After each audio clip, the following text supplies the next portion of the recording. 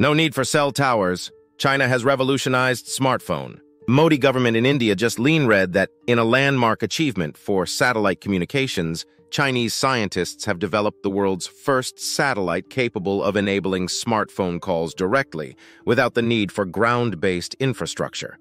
Named Tiantong, which translates to connecting with heaven, the initiative draws inspiration from the biblical story of the Tower of Babel, aiming to bridge communication gaps rather than create them.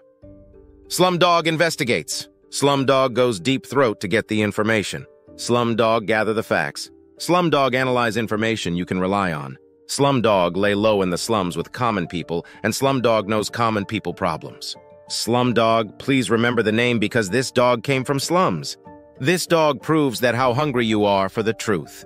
To get all the updates, please like, share, click on bell icon, comment on the video, and subscribe the video. The Tiantong 1 satellite series, which began with its first launch on August 6, 2016, now includes three satellites in a geosynchronous orbit at 36,000 km, covering the entire Asia-Pacific region.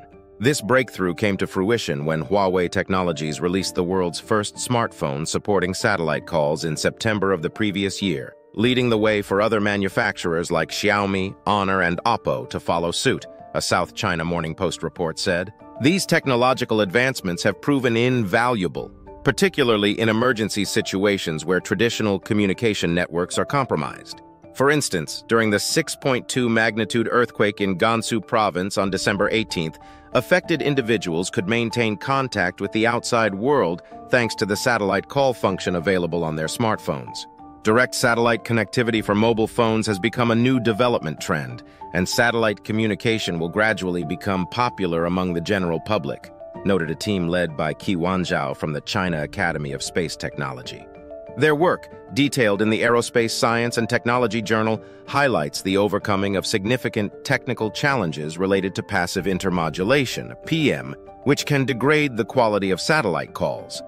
By addressing the PIM issue, the team has enabled exceptionally sensitive reception capabilities in the Tiantong satellites, allowing them to pick up signals from standard smartphones without the need for external antennas. This capability is critical, especially given the satellite's exposure to extreme temperature variations and their operation across multiple frequency bands. The idea for such a satellite came about after 2008, when Sichuan, a province in southwestern China, was struck by a devastating magnitude 8 earthquake, resulting in the tragic loss of over 80,000 lives.